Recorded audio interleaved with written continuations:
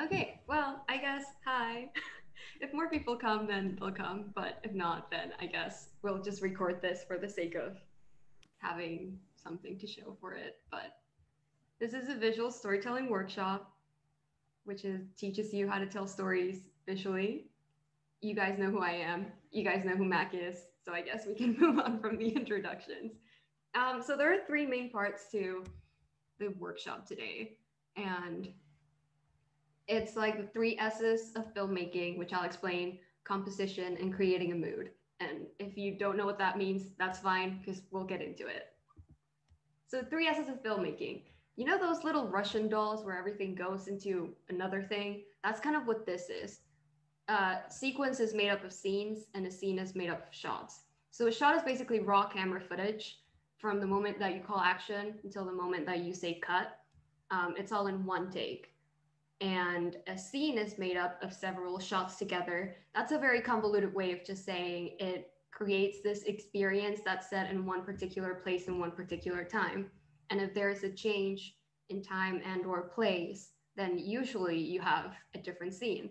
But obviously this varies from director to director and filmmaker to filmmaker. So sometimes a scene, like you'll be able to tell when a scene is done based on whether the point that was first introduced has been resolved or whether a new point has been raised and you've moved on to something else. And a sequence is basically just a bunch of scenes put together. Basically, a movie is a sequence, uh, a short story, short film is a sequence. And the process of telling a story through uh, sequence through assembling scenes is called scenic method. And that's like pretty important to filmmaking. Okay, example. I don't know if you'll be able to hear the audio. I think I take out my headphones, but this little clip from The Godfather will start out when a shot of Michael, which is Al Pacino's character, talking, and we'll move on to a different shot, and I'll like pause and kind of point that out so you guys can see. Oh, wait, yeah, that's that's a different shot. So take. Oh, wait. Okay. Apparently I can't take out my thing because shit doesn't work. So maybe you won't be able to hear it. Let me know. Can you hear that?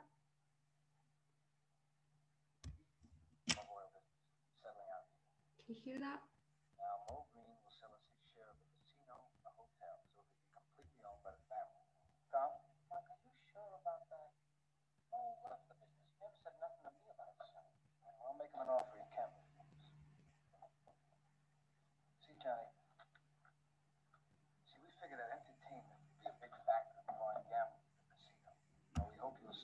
Okay. So that moment where we go from looking at Al Pacino to looking at that other dude, that's two different shots because the camera has moved and it stopped recording and there was another camera recording. So that's different footage. And that's how you can pretty much tell the difference. And then a sequence is just the entire Godfather movie, which is fantastic. And if you haven't seen it, you should watch it because it's Danny, so can I ask a question? No. Okay, so what if like instead of having that first shot where it's like looking at Al Pacino and then the other guy, what if you just like swivel the camera? Does that still count as one shot or is it two? That is still one shot because you didn't cut. So Okay. basically the entire thing that was recorded at one particular time, that is a shot. Okay, thanks. All right, composition. Composition basically means how things are arranged visually in a shot. So from the camera angle to the blocking of the actors to the thing, the thing, a thing, an object, anything that's in the shot, the way that it's arranged, that's composition. Um, a pretty good rule of thumb, if you're not sure how to arrange your subject, is a rule of thirds. And it's basically this three by three grid, as you can see in the little picture there, um, that you can put your subjects along the lines or, oh yeah, hi Rosanna, along the lines or at the intersections or between the lines. And the human eye naturally looks for information um, along the lines of the rule of thirds. That's just kind of how the brain works. So if you put your subject along them or within them, that makes it more aesthetically pleasing and also more easily visually digestible. So it's always a pretty good rule of thumb to use. Then another term that's pretty important is mise en scène, which literally means like placed in the scene. Um, and it basically refers to everything that you see on screen lighting, costumes, colors, actors, set, everything that you see is part of mise en scène. You could make the argument that some sound is part of it as well, but only if it's diegetic, which means that it's coming from the world of the story. So if a character is listening to the radio and you can hear the music, then that sound is diegetic and then it would be part of the mise en scène because it is within the world of the story. And okay, next types of shots. This is a little bit, um, this is a lot, but bear with me because it is pretty important. Okay, so there are different ways of describing the shots um, of what you see. You can see this little like thing on the left, this little graphic that kind of describes how the film, how the shots get from very tight onto like a particular body part, which would be an extreme close up, then to a close up, which would typically be the face or like a bigger part of an object. It's a little bit hard to describe, but you can generally use your judgment and kind of figure out okay, is this a close up or is it an extreme close up? A medium shot is generally like anywhere above the waist and you can see the head of the person. Um, or like maybe around half of an object. Hard to describe with objects. A full shot is just you see the entire person, and a wide shot is you see the entire person and you see the background. Um, I, I hope that's not confusing. If anyone has like questions, please feel free to interrupt me. Um, then another important thing is the angle of the camera. So a high angle basically means the camera is placed above the subject and it's looking down on them. So there's this example from Harry Potter where the camera is looking down at Harry. And that generally gives this sense that the subject is in a vulnerable position, as you can clearly see Harry is here. And then a low angle is looking, the camera is placed below the subject and it's looking up at them. So it, this can generally give the sense of like power and whatever subject you're watching. Of course, this varies um, you can use different camera angles and different shots to convey different things. It honestly just depends on what you're trying to convey. It depends on the story, but that's a general generalization, general views of it. Okay, so some more types of shots. I'll try to get through these quickly because I don't have images for them. But a two shot is basically when you have two people in the shot. Pretty self-explanatory. A short shot reverse shot is when you have that's pretty common in actual conversations like in in film when you have a shot of a person talking and then you have the reverse of the other person that they're talking to. So a shot reverse shot kind of shows you what someone is looking at and then the thing that they're looking at if that made any sense. Hi um and over the shoulder you don't have to do that. An over the shoulder shot is basically when you can see from behind someone, like part of their shoulder and their head, and you see what they're looking at. So if I were facing the other way, this would be an over the shoulder shot of me of the wall, basically. Um, an establishing shot is basically a shot that helps you situate your viewer um, on where the location is and kind of who the people are in the shot. So it's typically a wide shot or an extreme wide shot. Um, and yeah, it also varies, which is like, yeah, it varies. But if, if a shot kind of shows you, like, say, you see a coffee shop, and then you see the inside of a coffee shop, two characters sitting on a table, that shot of the coffee shop would be the establishing shot because it, it shows you where the characters are. Then a tracking shot is basically when the camera is moving along following a subject generally, um, but not necessarily, just the camera is physically moving. Whereas a pan is when the camera is in one place, but it is like shifting from left to right. And if it's shifting from top to bottom, that's called a tilt, not a pan. Should have added that there. Um, and lastly, a crane shot is typically an overhead shot. So it's like looking down like a high angle, looking down on the subject and it basically means the camera is physically on a crane. Now we have, um, what are they called? The thing, drones that can basically have the same effect, but yeah, they they were called crane shots back in the day because we didn't have that technology. Okay, creating a mood. This is my favorite part, so I'm excited for this. Um, a few things. You'll cover depth of field, color theory, lighting, costume set design. Yeah, you can see that, you know.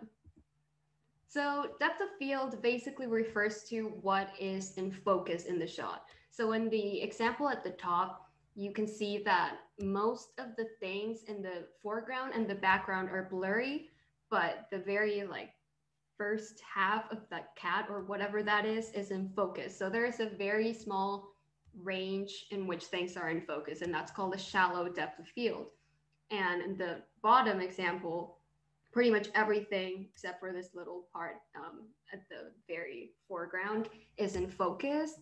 Um, and that's called a large depth of field because there is a pretty big range of things that are focused. Color theory. Yay. Okay. So I'm not to go through every single thing. Well, I will afterwards, but basically the most important things from this primary colors, red, yellow, blue, secondary colors, green, orange, purple, tertiary colors are like combinations. So yellow, green, um, orange, red, orange, blue, green, that kind of stuff. Those are tertiary. Um, also, a hue refers to the color itself. And when something is desaturated, it means that gray has been added to it. So it is less vibrant. Those are, yeah, C- some color theory for you. All right, so some color schemes that are pretty popular in film. Monochromatic, pretty obvious. Everything is the same color. This is one from the Matrix. Everything is green. It usually creates this harmonious, like visually harmonious effect and this like lulling, like soothing effect. And here, this kind of mirrors the way that people are asleep in the Matrix. Spoiler alert if you haven't seen the Matrix. um, then analogous color scheme is when the colors are next to each other um, on the color wheel. So here we have yellow, orange, green. Those colors are all next to each other in the color wheel. It also creates harmony and is visually soothing, but it adds a little bit more dimension to the shot. Then we have complementary color scheme, which is probably the most used color scheme in film. That might be a bold statement to make, but I'm fairly certain that is true. Um, you see a lot of like orange and blues in movies, and those two are directly opposite from each other in the color wheel. That's basically what a complementary color scheme is.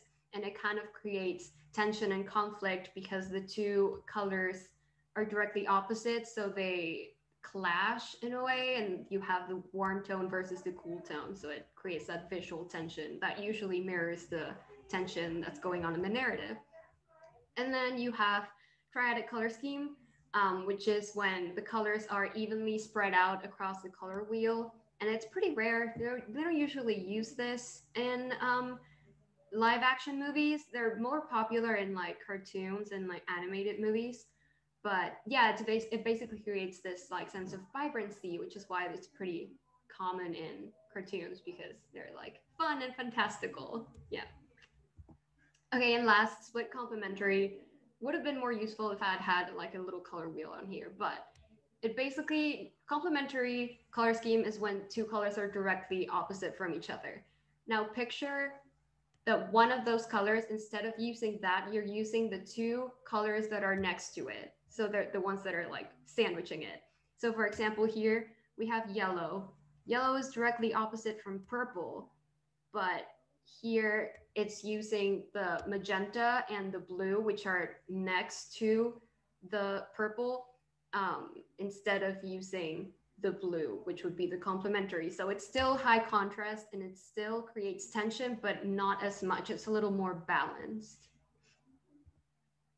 Okay, discordant colors basically are just colors that are not part of the color scheme. And it's usually the film's way of saying, hey, pay attention to me. Whatever's happening here is important. This, that's why I don't belong. And it draws your eye to it.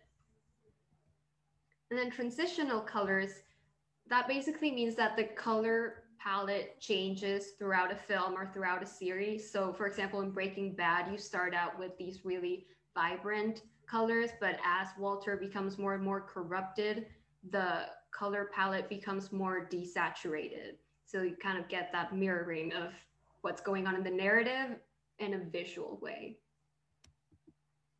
Okay, I'm not gonna go through every color because we would be here forever, but what I kind of want to get across from this is that color associations vary by country, by culture, by region of the world. So yes, you can use color associations, but you cannot expect them to be universal. And it is important to note that certain colors mean certain things in different cultures.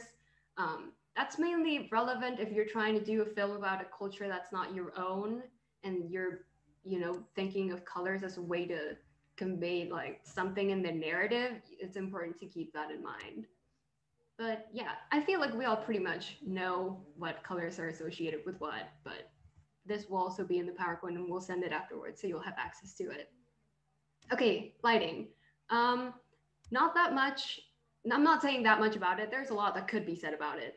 But the main things that I want to cover is high key versus low key lighting and cool tone versus warm tone. So high key, okay, when you film, there's this general setup of lights that you use. You have a key light that is in front of the subject, but not directly in front, like a little bit to the side.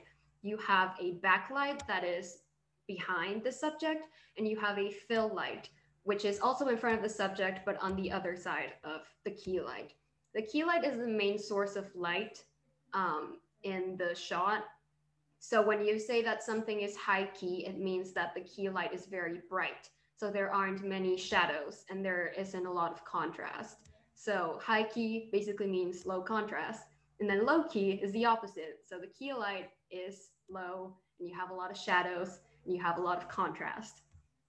So high, low, low, high. Um, and typically low key lighting is used to kind of convey sort of darkness um, in a character or in a narrative, whereas high key lighting is more like ethereal, more like good, I guess you could say. There's like associations with light and dark that can also be applied to lighting.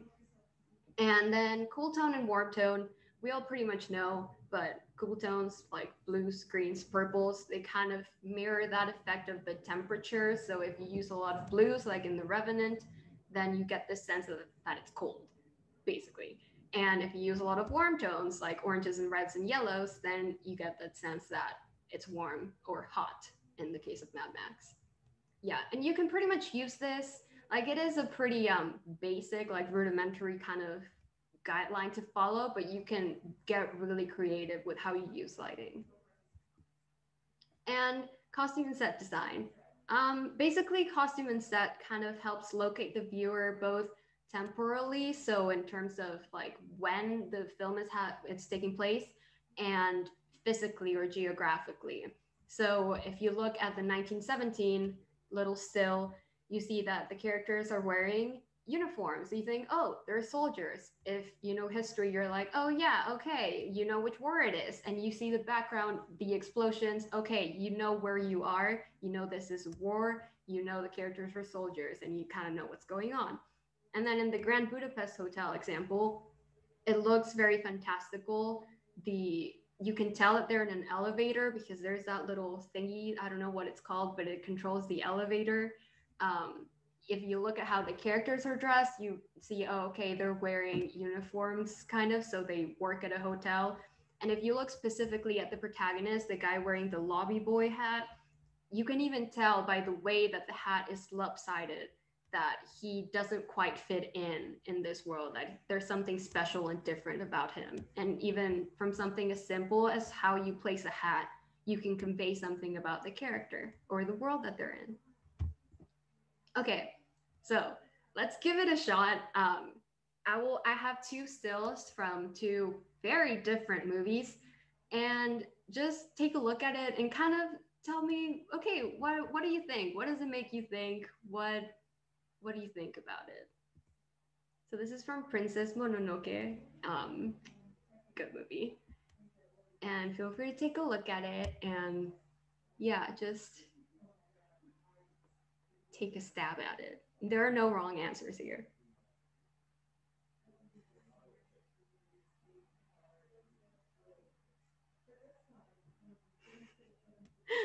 Anyone can talk. It's okay.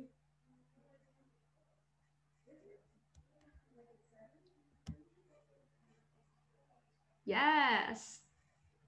Okay, so Kaylee saying in the chat um, that the trees frame the princess, so you know that you should look at her, and her face is fierce in all caps, along with the wolf guy, and they're looking the same way. Yeah, so the eye line kind of lets you know that they're not alone here, that there is someone else in this world, basically. Yeah, pretty much the the framing of the trees is pretty important here, and it kind of lets you know, okay, this is who I need to be looking at, and something important is about to happen with these people. Um, I also quite like the red accents on her face and her mask slash headpiece um, because it contrasts directly with the green of the nature. So you kind of get this like sense that there's some tension in there, um, which I mean, there is, if you've seen the movie, there is quite a bit of tension, but okay. And then there's this still from the Blade Runner also a fantastic movie, very different from Princess Mononoke. But yeah, give it a look and just take a stab. What what jumps out at you? What do you notice? It can be about literally anything.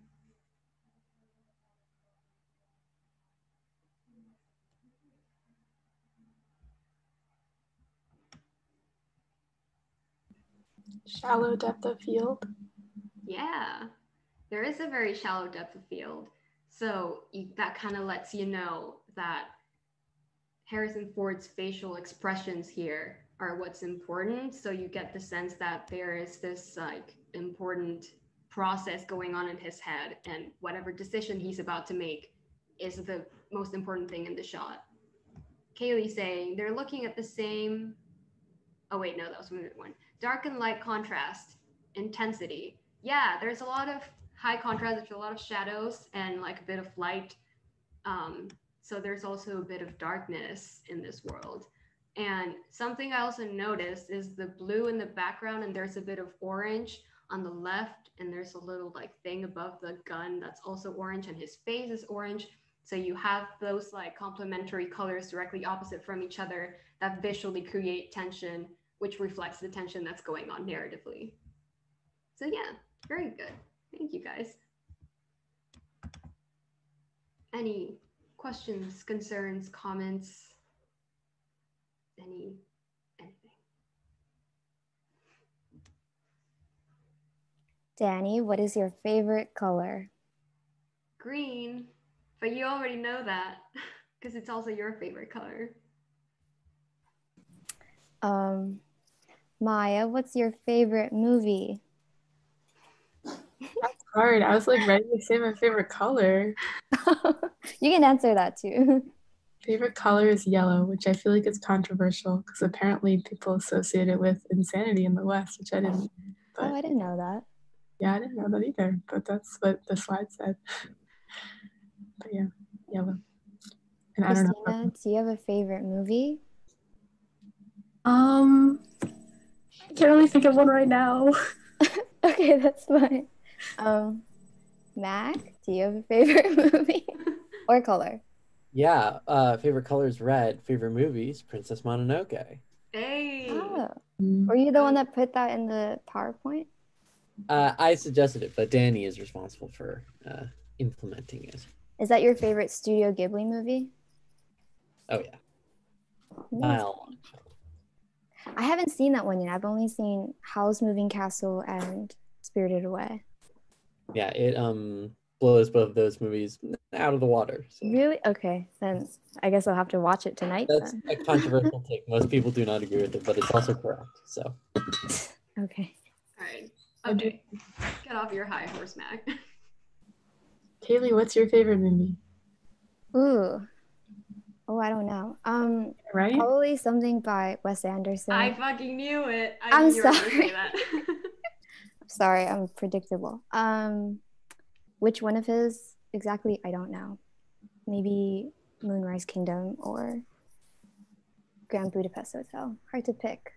But mm. I've been like binging his films during quarantine. So. Isn't he about to have a new one? Yes. Okay. So he's supposed to have French Dispatch. It was supposed to come out Chalamet's July. in it. Yes, they shot. Yeah, Timothée Chalamet's in it. It's shot somewhere in like Eastern Europe, and it's supposed to come out in July. But then they couldn't do that, so then they moved it to October. But then they couldn't do that either, and now it's just like indefinite, and they don't know when they're going to release it. But he's already starting to film his next one, so Mm, I don't know. I'm just I'm very disappointed that they haven't. yeah, But I mean, I get it, but yeah. Yeah, it's like frustrating that it's like made and it's like done. We Yeah, it's like there, but we just can't see it. Mm. Yeah, tough. This is a great PowerPoint. Thank you, Danny and Mac. Um, this is very interesting. Sorry, I was kind of in and out of it for a while, but it's very interesting. Thank you. Oh my god. Thank you for coming, Rumi. Much love. Okay, yeah, that's it. Um, oh yeah, so there will be another workshop next week on Wednesday um, at 4 p.m. I believe, post production slash editing. So if you're interested in that, we will have that information on our social media soon.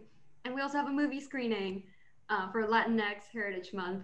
Hell yeah, we're watching Beatriz at dinner. Um, haven't seen that movie, but Salma Hayek is in it, so I'm very excited for it. And that'll be on the 11th at 4. So if you're interested in that, definitely come. Uh, we already have a Discord link. This isn't updated, but that will also be in our social media. So, yay. And sources, my brain, and for the images, how to use color in film. Yeah, thank you. Well, thanks for coming.